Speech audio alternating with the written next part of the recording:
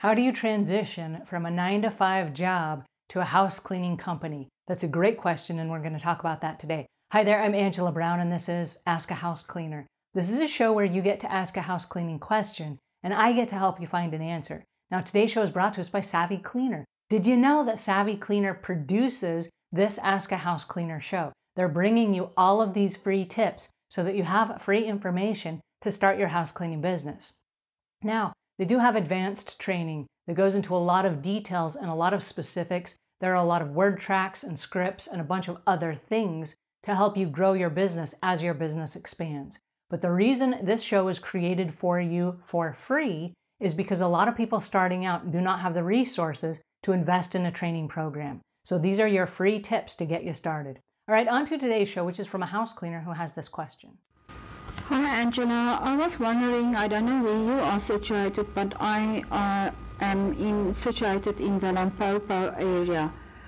Uh, I do have a full-time job, but I'm working shifts, and I'm thinking of um, resigning to start my own business and so on. Of course, I don't have enough money, and I was thinking of Maybe I should start just with one person to help me. Uh, since I also have a small car, I will have to replace it at a later stage if I expand my business. But is it uh, better to start in a in a city? Also, then again, the money is a, a problem because I have to relocate, I have to re- uh, move, and have to pay a, um, a deposit and rent upfront and so on. Can your advice, please? All right, that's a series of good questions. And how do you transition, I'm going to say a full time job to a nine to five? We're going to refer to it as a nine to five. That's your day job over to a house cleaning company. All right, if you have a regular job, you probably have some kind of benefits. So, yay, because you don't have those benefits as a house cleaner. So, you probably have some kind of an insurance, some kind of an employee perks program or a benefits program. You probably have some kind of paid vacation, or you have paid days off, or you have sick leave, or some of those things. As you transition over into your own house cleaning company, you don't have any of those things. There is no safety net. And so you're going to have to start thinking about things like, well, my insurance is covered, but now I'm going to need to buy my own insurance, health insurance, and life insurance and whatever. I'm going to have to take care of that on my own. So start thinking in your head, how much money do I need to make in order to pay for that? Then you have to think of the other things. If I take a two week vacation like I always have, then how am I going to pay for that? Because that's two weeks out of my schedule that I won't get paid for. When you're on the nine to five job, it's paid. So you go away on a trip, you come back, you still have money to pay your bills. In house cleaning, it's not that way. People do not pay you if you do not show up. So you have to start thinking about that as well. Am I still going to be able to take vacations? And if I am, how am I going to save for that? Now, if you're just starting out and you don't have a lot of money, my recommendation to you is utilize all of the free resources that are available to you. We live in the information age. Everything you could possibly ever want to know is available to you already. It's just where are you searching and how are you finding the information? And do you have the time to sift through and sort through and find the best stuff that will help you grow from here to here? All right, now a lot of people will get started in the house cleaning business and they do exactly like you're doing. They transition from a full time job to a part time job. And the part time job is the house cleaning in the beginning. So they're working the full time job and they pick up an account. And so maybe one day after work, they go and they clean a house after they get off their job.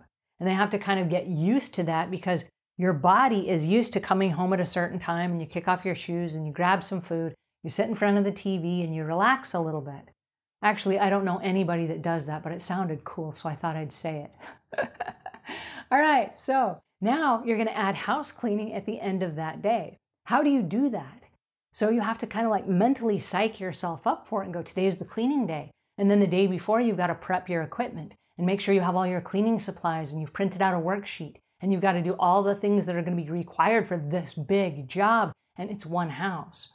And then once you get comfortable with that house and you've start created you're starting to create a system and you're getting in the groove.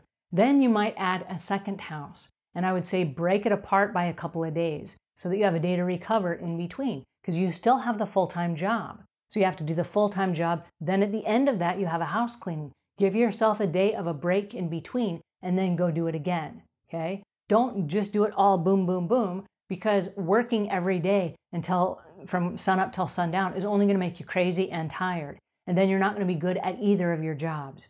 So give yourself a little bit of a window. Once you get up to speed and you start getting in the groove and you get comfortable doing it, then you can add on a third day. Now, there are seven days in a week. So you might decide that you only want to do the house cleaning on Sunday, Saturday, and Sunday. So you work Monday through Friday, you're nine to five, and then on Saturday, Sunday, in the morning or in the afternoon, you pick up a couple of houses. That way you're still working seven days a week, but you get to still relax in the evening and kick up your shoes and eat the popcorn and the things that I mentioned, right? So there are ways of transitioning. But now I will tell you, you might decide you only ever want house cleaning as a part time job. I know a lot of house cleaners that have multiple businesses. House cleaning is only one of them, and they still have the regular job that pays them all the benefits because the house cleaning does not. And then there are house cleaners that went full time. They started getting really busy. They started making more money on the part time job than they were on the full time job, and they started transitioning over. In order to do that, then you have to start making deals with your boss. Instead of taking my two weeks vacation, can I break it up in two days? And then they say, Yeah, I'll break it up into days. So you take your 14 days of vacation, but you may take it every Thursday for the next 14 weeks. And that allows you to pick up Thursday as a cleaning day. And then you start booking one and two and three houses on that Thursday, which would be your work day. And now you know, you know you're not coming back on Thursday. So when you come back after being gone on Thursday, you've been gone for 14 days, 14 Thursdays in a row. They're used to you not being there. So then you come back to your boss and you say, Hey, boss, is there any chance that I could make up the time and work from home? I got something else I'm doing now on Thursdays. I would love the opportunity to make up the time and the work from here in the evenings or on the weekend. Is that possible so that I can still have Thursdays off? You'd be surprised at how many people actually work from home that have a nine to five job. And your boss might say, as long as you get the work done, I don't care when you do it, right? They're happy that you're still there. So work something out where you can transition and then get to a point where you might decide I can only work three days a week. Hey, boss, I've been working out of the house on Thursdays for the last two months, working really well. What do you, what do you feel about me taking Friday off and working from home Thursday, Friday? And you might say, that's fine. You've been doing a great job. You're keeping all the work up. Sure, that's fine. And now you have another whole day you can fill up on your calendar of house cleaning. And there are people that have done this very successfully till they transition from one into the other. Now, it goes the other way. Once they become enormously successful at house cleaning, they start picking up other businesses. They say, well, if I can do house cleaning, I could add a professional organizing leg to my business. And then they start hiring a team of professional organizers that marry with the same clients. And then they say, well, you know, I have professional organizers and house cleaners to do the same property. Let's send in some landscapers. And they buy a landscaping business and a couple of trucks and now they've got cleaning and how, uh, landscaping, and they have professional organizing. And along with the professional organizing, they say, hey, we're running into a lot of hoarders. So then they do junk and hoarding removal, and they have all these different elements of their business. And so it's possible that you may just transition from one to the next. The secret is this make sure that whatever you do, that you're focused on one thing at a time. So if you are doing your nine to five job, only do your nine to five when you're doing your nine to five. When you cut that off at a certain window of the day and you transition and you go over to being a house cleaner, only be a house cleaner.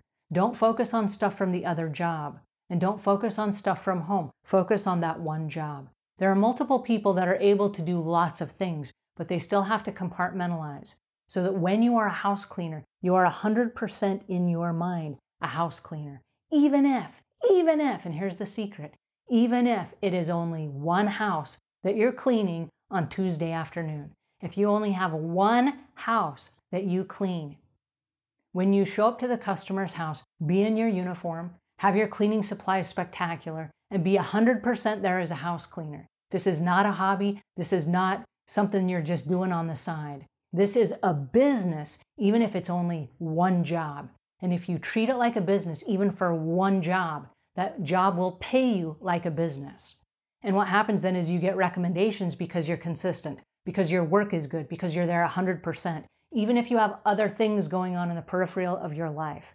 if you show up and you give it 100% effort while you are there, it's going to treat you and pay you back like a business. And then it doesn't matter if you have a day job or if you have an evening job or if you have another company that you own. Lots of people have diversified and they don't have all their eggs in one basket.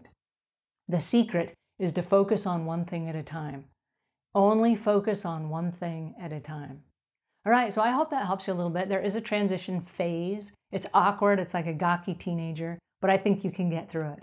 If you found this tip helpful, please share it with a friend, pass it on, post it on Facebook, send a link to somebody. And until we meet again, leave the world a cleaner place than when you found it.